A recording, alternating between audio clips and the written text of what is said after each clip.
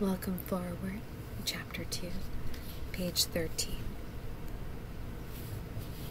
Because of the real strength of its vision, it pulls the will into its service and impels the mind to concur. This reestablishes the true power of the will and makes it increasingly unable to tolerate delay. The mind then realizes with increasing certainty that delay is only a way of increasing unnecessary pain, which is it need not tolerate at all. The pain threshold drops accordingly, and the mind becomes increasingly sensitive to what it would once have regarded as a very minor intrusion or discomfort. The children of God are entitled to perfect comfort, which comes from the sense of perfect trust.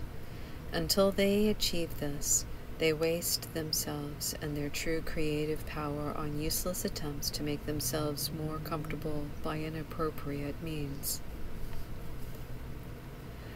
But the real means is already provided and does not involve any effort at all on their part.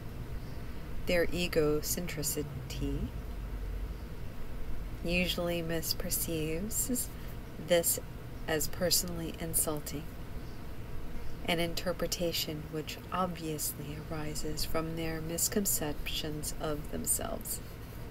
Egocentricity and communion cannot coexist. Even the terms are contradictory. The atonement is the only gift that is worthy of being offered to the altar of God. This is because of the inestimable value of the altar itself.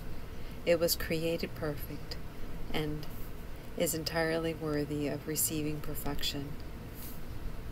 God is lonely without his souls, and they are lonely without him. Men must learn to perceive the world as a means of healing the separation. The atonement is the guarantee that they will ultimately succeed.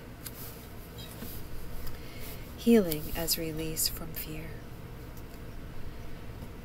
The emphasis will now be on healing. The miracle is the means, the atonement is the principle, and healing is the result. Those who speak of a miracle of healing are combining two orders of reality inappropriately. Healing is not a miracle. The atonement or the final miracle is a remedy, while any type of healing is a result. The kind of error to which atonement is applied is irrelevant. Essentially, all healing is the release from fear. To undertake this, you cannot be fearful yourself. You do not understand healing because of your own fear. A major step in the atonement plan is to undo error at all levels. Illness, which is really not right mindedness, is the result of level confusion in the sense that it always entails the belief that what is amiss in one level can adversely affect another. We have constantly referred to miracles as the means of correcting level confusion, and all mistakes must be corrected at the level on which they occur. Only the mind is capable of error. The body can act erroneously, but this is only because it is responding to misthought. The body cannot create, and the belief that it can, a fundamental error, produces all physical symptoms.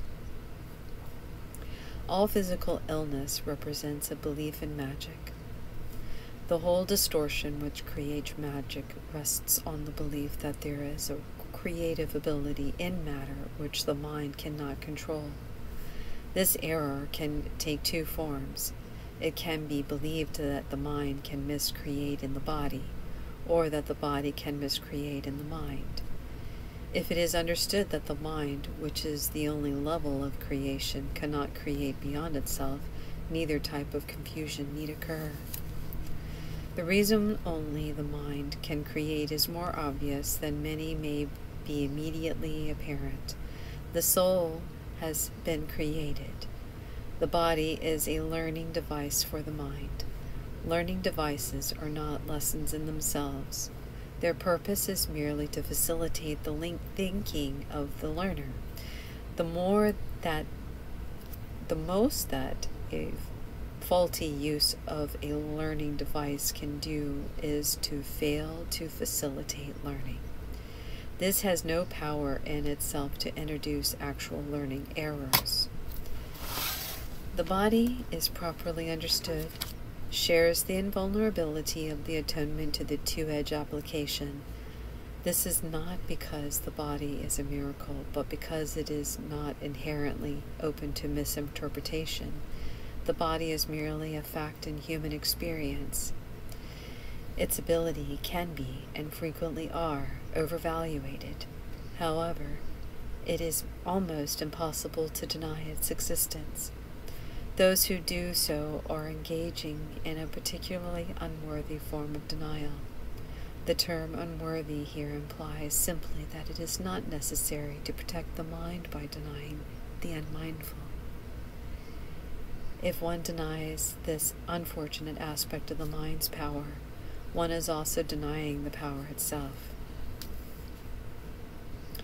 All material means which man accepts as remedies for the body's ills are merely restatements of magical principles. It was the first level of the error to believe that the body created its own illness. It is a second misstep to attempt to heal it through non creative agents. It does not follow, however, that the use of these very weak corrective devices are evil. Sometimes the illnesses has a sufficient great hold over the mind to render the person inaccessible to atonement. In this case, it may be wise to utilize a compromise approach to the mind and body in which something from the outside is temporarily given healing belief. This is because the last thing that can help the non right minded or the sick is an increase in fear. They are already in a weakened, a fear weakened state. If they are inappropriately exposed to an undiluted miracle, they may be um, precipitated into panic. This is particularly likely to occur when upside down perceptions has included the belief that miracles are frightening. The value of atonement does not lie in the manner in which it is expressed. In fact, it is truly used. It will inevitably be expressed in whatever way is most helpful to the receiver. This means that a miracle, to attain its full efficacy, must be expressed in a language which the recipient can understand without fear. It does not follow, by any means, that this is the highest level of communication of which he is capable. It does mean, however, that this is the highest level of communication of which he is now capable of. Thus ends page 13.